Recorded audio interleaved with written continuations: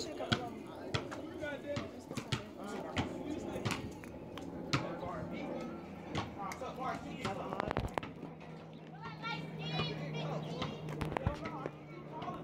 need a big red bone where I lay fat bitch.